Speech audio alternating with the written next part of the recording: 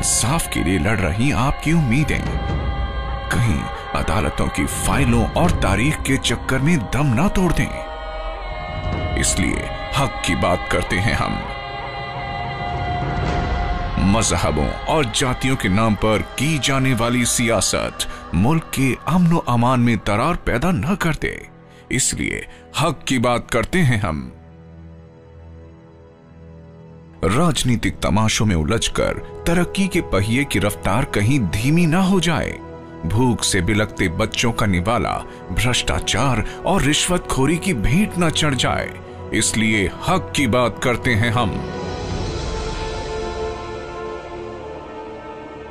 सरकार के कानों तक आपकी आवाज़ पहुँच जाए, ताकि आज के फैसलों पर ही भविष्य की तकदीर लिखी जा सके। इसलिए हक की बात करते हैं हम। जनाक्रोश हक की बात सिर्फ़ न्यूज़ इंडिया पर। न्यूज़ इंडिया सबसे आगे।